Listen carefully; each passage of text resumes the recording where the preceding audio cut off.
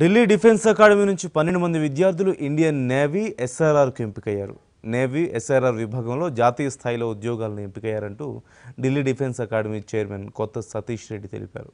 ఇప్పటి వరకు పద్నాలుగు వందల మందికి పైగా విద్యార్థులు ఆర్మీ నేవీ ఎయిర్ ఫోర్స్ ఎన్డీఎల్లో ఉద్యోగాలు సాధించారంటూ సంస్థ చైర్మన్ కొత్త సతీష్ రెడ్డి చెప్పారు. నేవీలో జాబ్ సాధించిన పన్నెండు మంది విద్యార్థులను అకాడమీలో సంస్థ సభ్యులు అభినందించారు. మన ఢిల్లీ డిఫెన్స్ అకాడమీ నుంచి జూలై టూ థౌజండ్ ట్వంటీ వన్లో ఇండియన్ నేవీ నుండి వెలువడినటువంటి నోటిఫికేషన్లో వైజాగ్లో జరిగినటువంటి ఎగ్జామ్లో మా ఢిల్లీ డిఫెన్స్ అకాడమీ నుండి పార్టిసిపేట్ చేసినటువంటి విద్యార్థులు పన్నెండు మంది ఇండియన్ నేవీ ఎస్ఎస్ఆర్ విభాగంలో జాతీయ స్థాయిలో ప్రతిభ కనబరిచి ఉద్యోగాలకు ఎంపిక కావడం జరిగింది.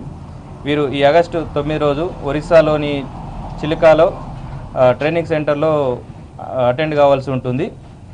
మన ఢిల్లీ డిఫెన్స్ అకాడమీ నుంచి ఇప్పటి వరకు పద్నాలుగు వందల మంది విద్యార్థులు army navy air force NDA ఉద్యోగాల్లో ఉద్యోగాలు సాధించి తెలంగాణలోనే మొదటి స్థానంలో ఈరోజు మన ఢిల్లీ డిఫెన్స్ అకాడమీ ఉన్నదని చెప్పడానికి చాలా సంతోషంగా ఉంది.